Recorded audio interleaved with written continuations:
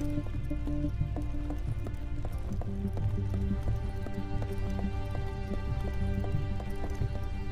you.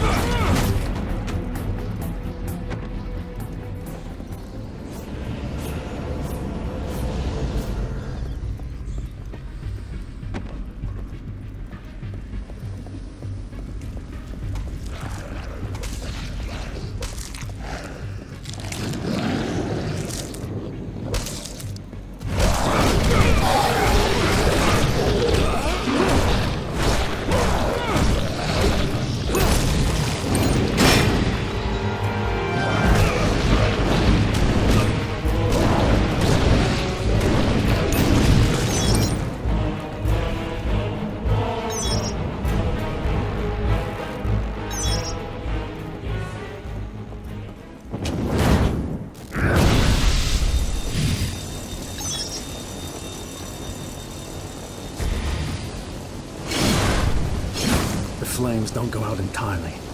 I must do something else to extinguish them.